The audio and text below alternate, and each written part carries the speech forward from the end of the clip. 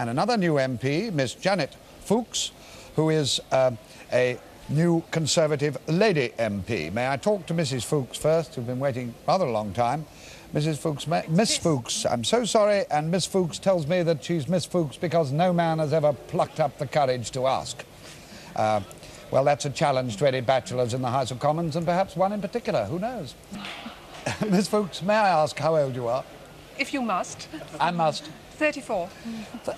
Really, you don't look anything like that, if I may say so. Ah, I think we ought to say that uh, Miss Fookes, incidentally, is the most gorgeous red-haired. If you're seeing it in black and white, it is something you are missing.